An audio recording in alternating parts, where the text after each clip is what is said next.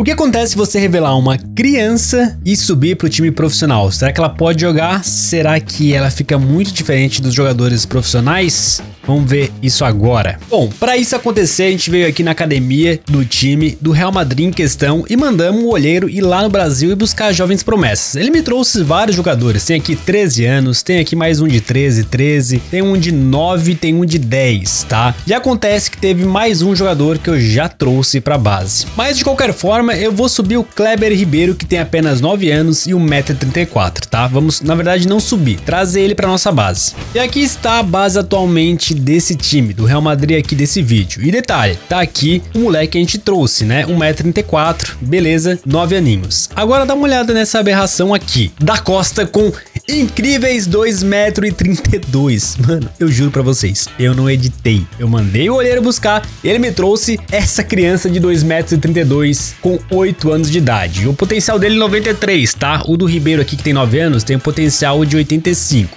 E aí, manos, vamos lá, promover para o time principal? No momento, esse jogador é jovem demais para ir ao time titular. Beleza, 8 anos não rola, mas 9 anos, será que rola? Com 9 anos a gente consegue subir o moleque. Mas com o poder da edição, vamos fazer aqui esse gigante também ir para o profissional. E vindo aqui na central do elenco, filtrando pela idade, temos aqui as nossas promessas. O da Costa, que eu acabei de fazer ele ter 9 anos de idade, tá? Eu adiantei o aniversário dele. E temos o Ribeiro, que a gente acabou de subir também com 9 anos. E eu subi mais um, o tal do Tavares. Então a gente tem um trio de 9 anos no elenco profissional do Real Madrid. Da Costa com 2,32, Ribeiro com 1,34 e Tavares com 1,31, os três com 9 anos. Acontece que o Real Madrid aqui está na Champions League nas oitavas de final, tá? E vai pegar o Arsenal. O primeiro jogo já aconteceu e o Arsenal ganhou de 2 a 1. Agora eles vão decidir na Inglaterra. E será que o nosso trio de crianças vai resolver a parada? Para começar, o nosso gigantesco jovem da Costa vai pegar a vaga do Mbappé. O Tavares vai jogar o Rodrigo pro banco de reserva. E o Ribeirinho vai ficar no banco mesmo.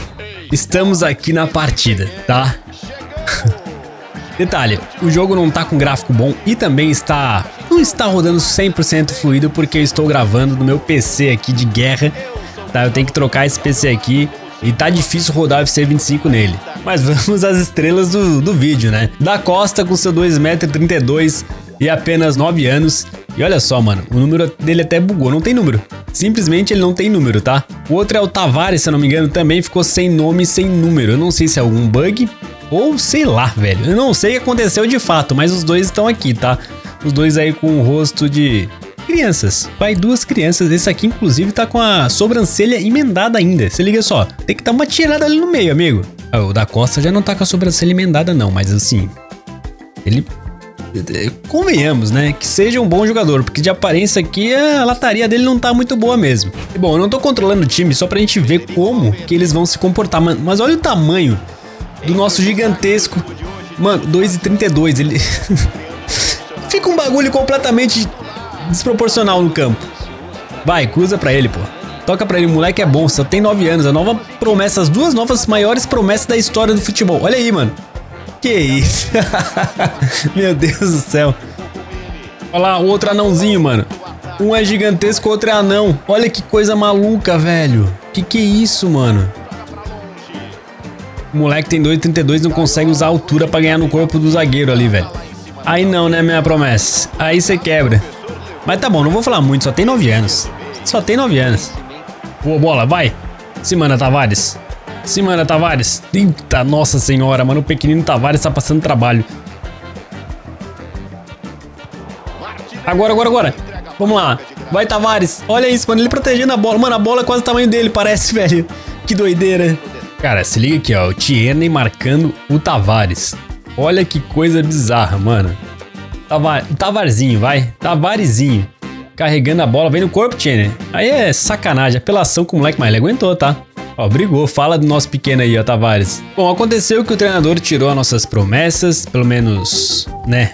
O da Costa, o Edson também. Os dois saíram e o jogo acabou 0 a 0 eles não conseguiram fazer diferença nenhuma. O primeiro teste era esse, saber como eles iam se sair em campo. A gente viu ali que não conseguiram fazer nada, apesar de um ter uma altura absurda, nem isso ele conseguiu ajudar ao seu favor porque o overall dos dois é muito baixo. Bom, focando agora no overall deles, tá? O Tavares é o melhor com 51, temos aqui o da Costa que tem 46 e esse outro Ribeiro também com 46. Eu vou agora simular, vamos fazer uma simulação na temporada para saber se eles vão ganhar bastante overall ou não, porque eles têm uma margem de evolução muito grande, eles só têm 9 anos, então tem muito tempo para eles evoluírem. Cheguei no final da temporada então, ó, o Real Madrid ficou em segundo lugar na La Liga, beleza? Champions League a gente já viu, acabaram saindo nas oitavas pro Arsenal. A Supercopa aqui deu Barcelona nos pênaltis, a Copa da Espanha deu Real Madrid. Mas eu acho que os nossos garotos só participaram de fato da reta final ali da La Liga. Bom, é a verdade que não tivemos evolução aqui, né? Apesar de estar com as setinhas ali para cima nas habilidades, e overall, mesma coisa. Nada de novidade, até ficaram mais velho aqui, mas estão ganhando muito pouco. Então o que a gente vai fazer é o seguinte: viemos para uma outra temporada e agora a gente vai botar treinos específicos neles, tá? Esse cara aqui com 2,32 tem que aprender a fazer o pivô, não tem jeito. Esse cara, essa criança, na verdade, né? Essa outra aqui, que é o Caio Ribeiro, ó, parece que ele é mais rápido. Então vou botar aqui um que trabalhe bem com a velocidade dele, ó. Centravante, que trabalha impulsão, fôlego, pique também, além de finalização. E o Tavares também é rapidinho, né? Então a gente pode botar ele aqui como ponta direita aqui focado na ala. E ainda vamos fazer outro teste. O Ribeiro, ele vai ser emprestado pra gente saber se ele evolui mais que os outros jogadores que vão ficar aqui no nosso clube essa temporada. E não deu outra, tá? Um time veio atrás dele, o time é o Tenerife. Se eu não me engano, é um time da Espanha. Eles querem um empréstimo com opção de compra. Eu tenho que negociar, não dá nem para eu aceitar aqui ou eu posso delegar. Bom, eu não vou me opor não, eu vou deixar eles fazer o que eles querem, então eu vou aceitar. Pior que não rolou a contratação. Então ele continua no nosso time. Ele recebeu mais duas propostas aqui. Desse time aí que eu não faço ideia de onde é que é e do Vancouver Whitecaps lá da MLS. Vai, vai pra MLS, vai, vamos ver. Pior que o salário dele é alto, tá? 40 mil euros, dólares, tá? 40 mil dólares já é um salário altíssimo. Vamos aceitar, eles querem fazer a divisão de salário. Bom, aqui tá tudo certo, vamos ver se ele vai aceitar da parte dele. E de fato, ele foi embora. Tá aí a nossa criança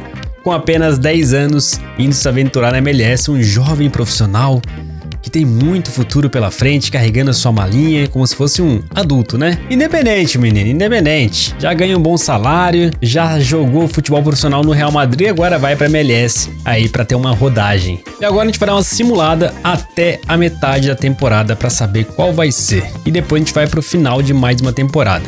Então chegamos aqui na metade da temporada, vamos ver os nossos moleques. O Ribeiro está com 46 ainda de overall. O da Costa 47 e o Tavares 52. A evolução é muito lenta ou quase mínima, né? Eles não estão evoluindo. Tá passando tempo, os caras estão parados aqui mesmo treinando e ganhando algumas habilidades ali. E nenhum dos três tem jogado, inclusive, tá? Só pra gente dar uma olhada aqui, ó. Nenhum deles tem jogado. Só tem treinado, mas mesmo assim não evolui. O da Costa aqui, ó, no potencial dinâmico ele tá com mais um. Porém o Tavares não. Tá 52 travadinho, então é, é o que eu falei. A evolução é muito lenta. Talvez comece a evoluir só depois dos 16 anos. Pode ser. Simulei até a final da temporada de novo. O Real Madrid não foi campeão da La Liga, ficou em segundo, novamente atrás do Atlético Madrid. Na Supercopa foi campeão, na Copa da Espanha não foi pra final e na Champions League também não foi pra final. O Atlético Madrid inclusive foi campeão. E bom, o Tavares 53, o da Costa 49. Então tivemos evolução nos dois, mas é muito devagar. E o Ribeiro que está lá na MLS continua aí com 46. É o nosso trio de criança evolui